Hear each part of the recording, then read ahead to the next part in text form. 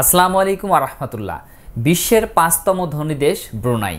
আর এই ব্রুনাইয়ের সুলতান বা ব্রুনাইয়ের রাজা আজ পনেরোই অক্টোবর শনিবার ঢাকা এসে পৌঁছেছেন। ব্রুনাইয়ের সাথে বাংলাদেশের শ্রমবাজার চালু রয়েছে। ব্রুনাইয়ের রাজার এটাই প্রথম সফর বাংলাদেশে। এই সফরকে কেন্দ্র করে ব্রুনাইয়ের সাথে বাংলাদেশের শ্রমবাজারটা আরও ভালো হবে এবং নতুন এমওইউ স্বাক্ষরিত হবে, যেন বাংলাদেশ থেকে ব্রুনাইতে প্রতিনিয়ত খুব ভালো কর্মী সেখানে যেতে পারে এবং সেখানে ভালো সুযোগ সৃষ্টি হয়। ভিউয়ার্স, ব্রুনাইয়ের সাথে এই বিষয়টা নিয়ে গত বৃহস্পতিবার এগারোই সেপ্টেম্বর বাংলাদেশের প্রবাসী কল্যাণ ও বৈদেশিক কর্মসংস্থান মন্ত্রণালয়ের মন্ত্রী ইমরান আহমেদ এবং ব্রুনাইয়ের পররাষ্ট্র মন্ত্রণালয়ের একটি বৈঠক হয়েছে বাংলাদেশেই।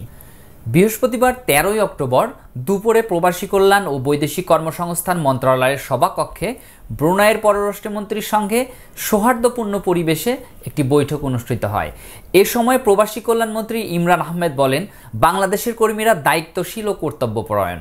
বিভিন্ন দেশের শ্রমবাজারে বিভিন্ন সেক্টরে বাংলাদেশি কর্মীরা সুনামের সাথে কাজ করে যাচ্ছে এবং আন্তর্জাতিক শ্রমবাজারে বাংলাদেশের কর্মীর ব্যাপক চাহিদা রয়েছে।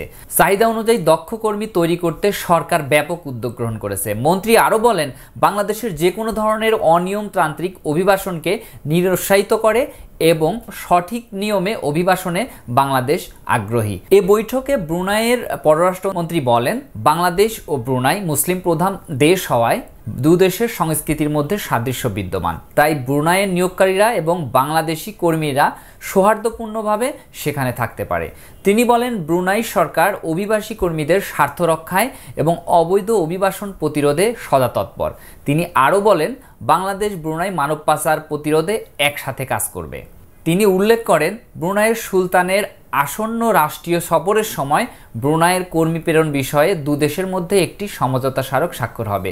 ওই সমঝোতা স্মারকে বাংলাদেশ এবং ব্রুনাইয়ের যে কর্মী নিয়োগের বিষয়টা, সেখানে আরও ক্লিয়ার হবে এবং যে পরিমাণ কর্মী সেখানে যাচ্ছিল, তার থেকে আরও বেশি কর্মী বাংলাদেশ থেকে সেখানে যাবে।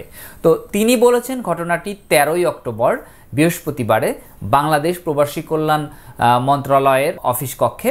এদিকে আজকে পনেরোই অক্টোবর ব্রুনাইয়ের সুলতান, ব্রুনাইয়ের রাজা বাংলাদেশে এসে পৌঁছেছেন। আমরা সবাই জানি যে ব্রুনাইয়ের সাথে কিন্তু এখন বাংলাদেশের শ্রমবাজার চালু আছে এবং প্রতিনিয়ত বাংলাদেশ থেকে ব্রুনাইতে কর্মী যাচ্ছে।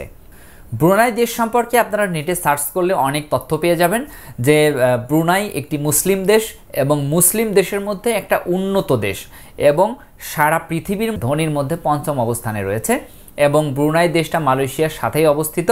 সুতরাং ওয়েদারটা বাংলাদেশের মতোই, সেখানে বলা যায়। কারণ মালয়েশিয়াতে মানুষ যেতে আগ্রহী থাকে যে ওয়েদারটা ভালো আছে এবং ব্রুনাইয়ের ওয়েদারটাও কাছাকাছি।